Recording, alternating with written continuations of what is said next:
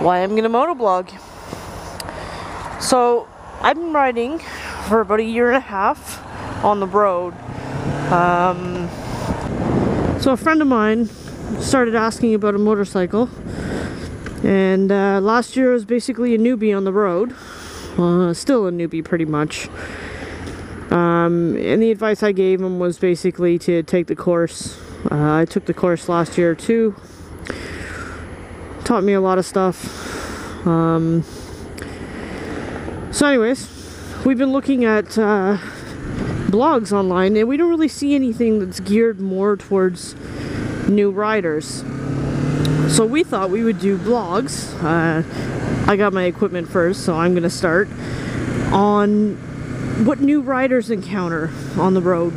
Um, because everybody's point of view wants to basically tell you that they know what they're doing and they're experienced and all that good stuff. We just want to know, or we just want to let new riders know basically what difficulties we've come across as new riders. So that's going to be what our moto blog is going to be all about. So I don't have a ton of experience. I, I currently ride and this is my first street bike I bought brand new. Uh, a lot of people tell you not to buy brand new if it's going to be your first bike because you will drop it. I guarantee that your bike, whether it be out of your, uh, from your own actions or the actions of somebody else, your bike will hit the ground. uh, my first bike hitting the ground experience came from uh, an underground. So basically, a driver came barreling down the underground, didn't even give a crap that I was at the bottom, and basically nearly ran me over. As I panicked and tried to back up, uh, I slipped on some sand and the bike hit the ground. Fortunately for me, uh, I was able to basically grab the bike on the way down and soften the impact between the ground and my bike. The basic only damage that I got was uh, my clutch here is now bent a little bit. It still works good. And my bar end here has maybe a couple of scratches on it. That's it. Hopefully that's the one time my bike hits the ground but your bike will hit the ground. So if you're completely vain and you need your bike to be perfectly pristine and you want to buy a new one, just know that your bike will tip over, whether it be parked on the street and somebody knocks it over. That hasn't happened to me yet. Hopefully it never will. Um, your bike's going to get damaged. It's kind of like a car in a parking lot. Some douchebag's going to park beside you, open up his door, and you could be the last parking spot away from wherever the parking and that one person just has to park beside you. It's kind of the same on a motorcycle. The only difference is the damage that gets done to your motorcycle could be life-threatening. Especially if you didn't know what happened. Um, so yeah, uh, I'm on my way to my buddy's house now. The guy who's going to buy a, a, motorcycle next year. He's got his eyeballs set on a FZ07 uh, Yamaha. Hopefully he gets it. I'd love to ride with them. Um, yeah. So that's uh, one of my first rants. Why not? Plus this is just my testing to see if I can actually talk at the same time I can ride. Um, the other thing I wanted to talk about on this ride was the Drift HD. So it's called actually called the Drift Ghost HD. Oh dear, I don't even know where to start with this. I purchased one and I tried to record a video on my phone. I'm not sure, my phone for some reason anything over five minutes long is, uh, it's, not saving on my phone.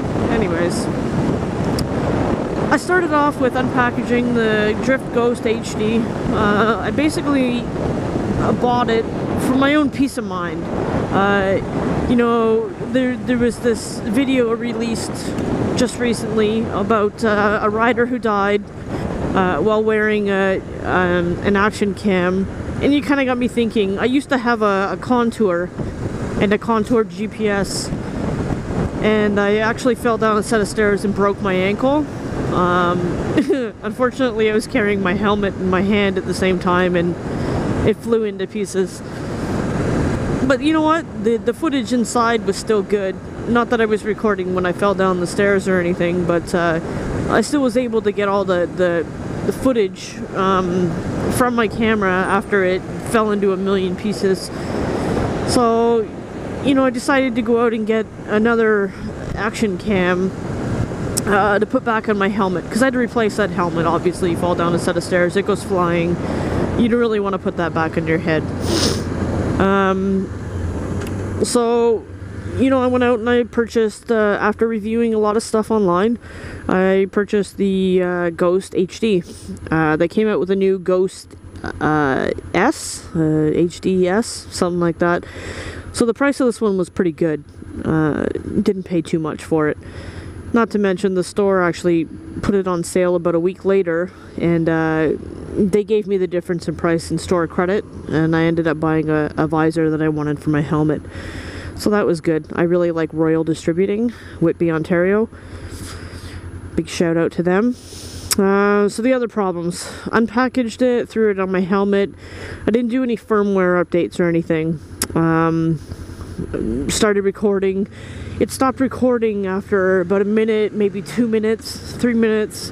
It would it would just give me an error. Um, actually, the footage wouldn't even record. It would say it was recording, but uh, when you tried to play it back on your computer later on, you couldn't retrieve any of it. Uh, and and that was actually uh, I looked in the instructions and it says 32 gig card, uh, class six or higher. So I had three or four 32 giggers laying around. Um, threw one of those in, and you know I thought I was going to be good to go without any extra expenses. Apparently not, because uh, as soon as I bought a 32 gig class 10 card, uh, it's class 10 um, you know, it didn't have any of those errors. So, you know, I was a little angry that I, I had um, a little extra expense there. Uh, especially when the, uh, what the hell is this guy doing? Uh, Nissan of Sarnia, go figure. Um, you know, I didn't think I was going to have to have any ex extra expenses there. And it was a little upsetting to have to go out and buy another class, another 32 gig card, which I have a million of them laying around. Uh, but you know what? That was no problem. So then I did the firmware update. Uh, I actually was proactive on the firmware update because I had read some um, some comments on the actual Drift website that says if you don't do the firmware update, you're gonna have problems with an external mic. And I knew I wanted to do moto, moto I wanted to at least try moto blogging at that point. So you know, I wanted to be proactive with avoiding that issue right off the get-go. So I did the firmware update. That was simply fair. It was uh, fairly easy if you know what you're doing with your computers. You just gotta put a bin file on an SD card. No problems. Um, got that done. So then after that, uh, I went out and started searching around for an external mic. Oh, which that was. Um, so I started off with, uh, you know, Best Buy and all those kinds of places where you would assume you'd be able to find an external bike without a problem. Because, you know, they sell camcorders and, you know, they always have like gadget this and gadget that. You know, okay, so none of those stores have it. Future Shop, Best Buy, don't even bother if you're in the GTA area. I even looked online for like online uh, purchases. Yeah, no.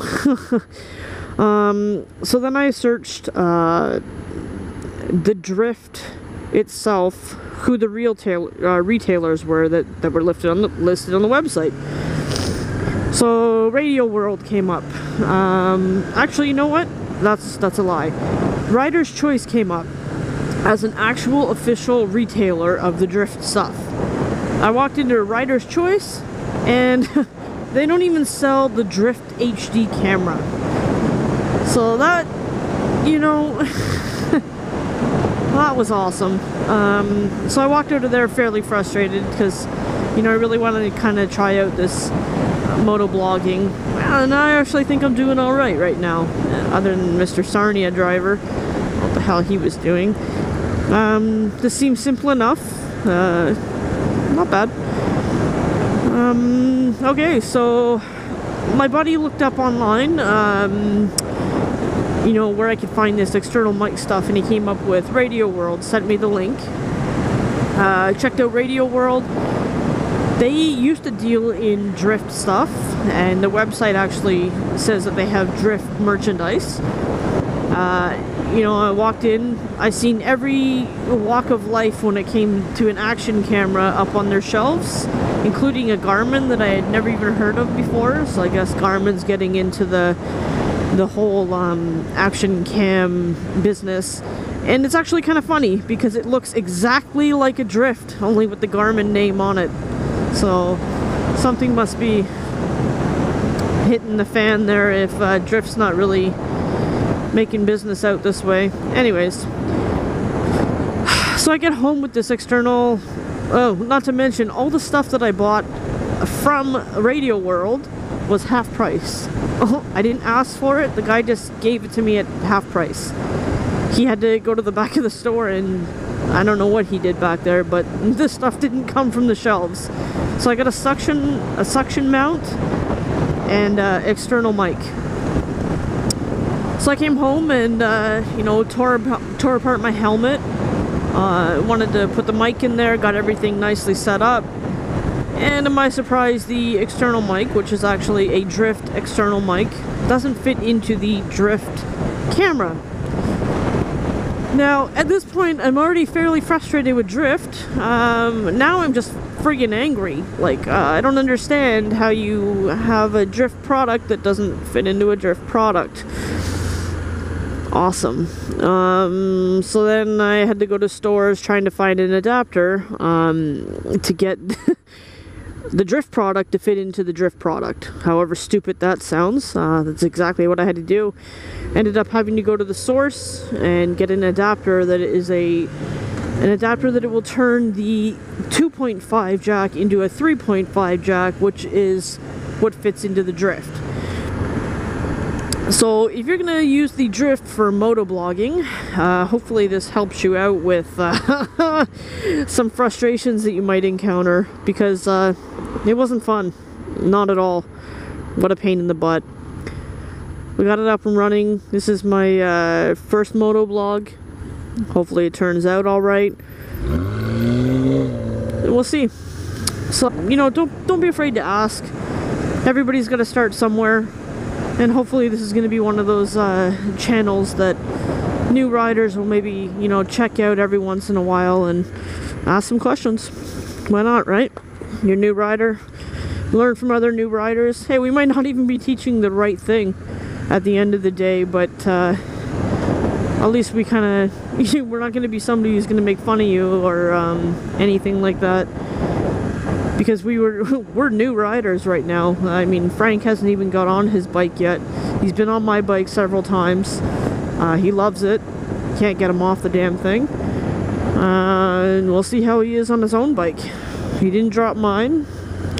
Hopefully, if I ride his, I won't drop his. um, so yeah, that's that.